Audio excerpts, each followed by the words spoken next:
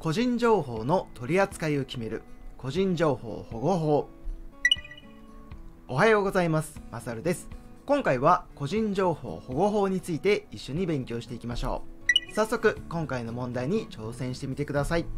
IT パスポート平成27年春問い2個人情報の取得活用事例に関する記述。A から C のうち個人情報保護法で禁止されていない行為だけを全て挙げたものはどれか。A 自社商品の情報を送ることを明示して景品付きアンケートを実施して集めた応募者リストを使い新商品のキャンペーンメールを送信した。B テレビの故障についてメールで問い合わせてきた個人に冷蔵庫のキャンペーン案内のファイルを回答のメールに添付して送信した。C 転職者が以前の職場の社員住所録を使い転職の挨拶状も兼ねて新会社のキャンペーンチラシを送付した。どの事例が個人情報保護法で禁止されていない行為でしょうか。少し考えてみてください。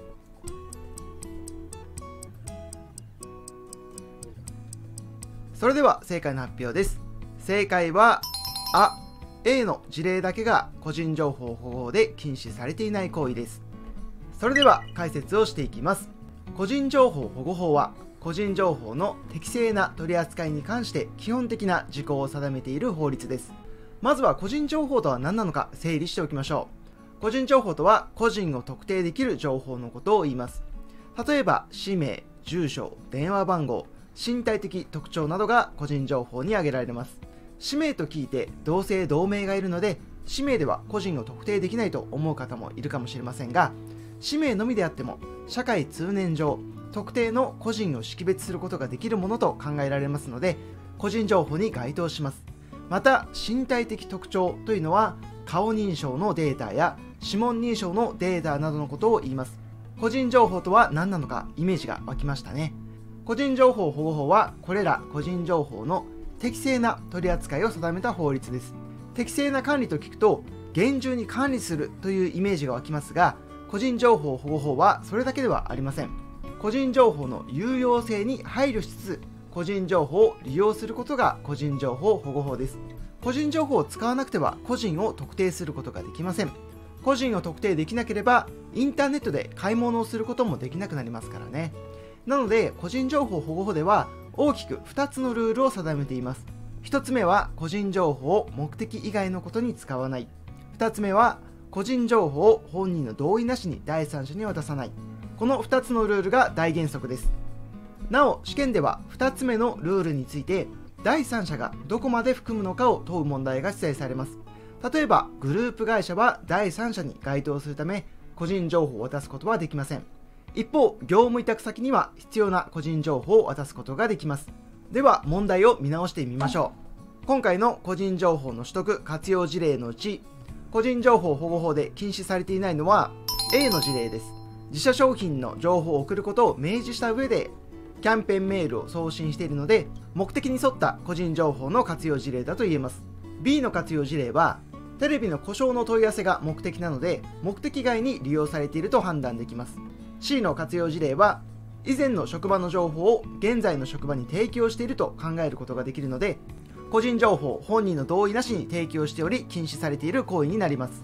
では次の問題に挑戦してください。IT パスポート平成24年秋問い20個人情報を他者に渡した事例のうち個人情報保護法において本人の同意が必要なものはどれか。あ親会社の新製品を案内するために個人情報を親会社へ渡した。い顧客リストの作成が必要になりその作業を委託するために個人情報をデータ入力業者に渡したう身体に危害を及ぼすリコール対象製品を回収するために顧客情報をメーカーへ渡した。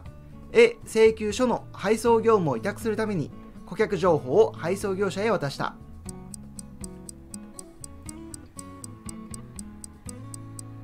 それでは正解の発表です。正解は、あ、親会社の新製品を案内するために顧客情報を親会社へ渡した。この事例の場合、本人の同意が必要です。個人情報保護法では、例外的に本人の同意なしに第三者に情報を提供できる場合がありますそれが警察への捜査協力をする場合急病人など命の恐れがある場合児童虐待の恐れがある場合反社会的勢力の情報を提供する場合このような場合は例外的に本人の同意なしに第三者に情報を提供することができます。先ほどの問題を見直しましょう。本人の同意が必要な事例を問われているので親会社は第三者にあたり本人の同意が必要です。意図への選択肢は業務委託扱いになるので個人情報を渡しても問題ありません。うの選択肢は消費者に危害が及ぶ可能性があるので本人の同意なしに個人情報を渡すことができます。ではもう1問個人情報保護法に関わる問題に挑戦してください。IT パスポート令和4年問い27個人情報保護法で定められた特に取り扱いに配慮が必要となる。要配慮個人情報に該当するものはどれか。あ学歴。い国籍。う資産額。え心情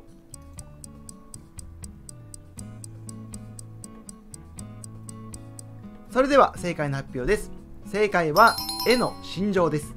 個人情報の中には特に取り扱いに注意が必要な要配慮個人情報というものがあります。要配慮個人情報に含まれるものとして人種心情社会的身分病歴犯罪の経歴などがあります。ちょっと分かりにくいものだけ補足します。人種というのは例えば在日何々人などの情報です。単純な国籍は該当しませんが在日何々人または日系南西などの情報が要配慮個人情報の人種に該当します。信条は宗教上の信仰や政治的思想的な主義などのこと。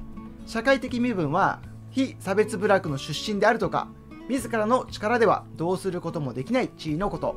これらの情報はなるべく取得しないようにすることが求められます。それ以外にも特定個人情報であるマイナンバーも個人情報の一つに分類されます。マイナンバーは個人情報の中でも特定個人情報と言われて利用範囲が社会保障税災害対策に限定されています。